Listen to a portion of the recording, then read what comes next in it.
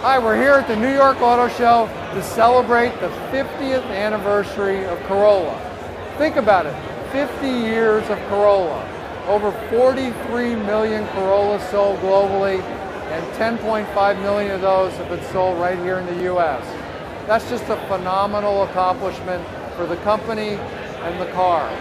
Really excited to be here to celebrate it tonight. We've got a great occasion to do it. We've got a special edition car.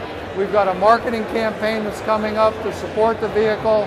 But if you think about it, Corolla's been such a big part of Toyota's success globally and here in the U.S.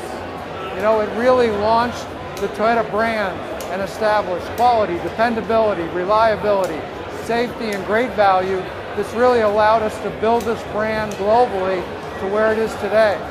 Here in the U.S., it was the first vehicle that we built domestically. That was a huge step for the company going forward here in the U.S.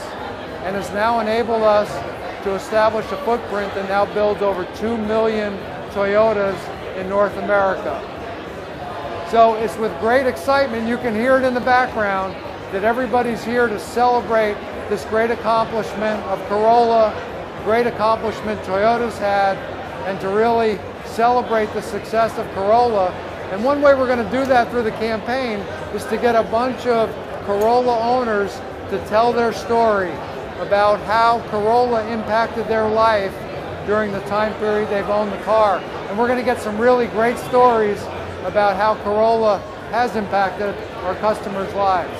So obviously a lot of buzz here tonight, a lot of excitement about the celebration and the 50 year anniversary not sure how many car companies could have this or how many cars have been around for 50 years and 43 million sales. So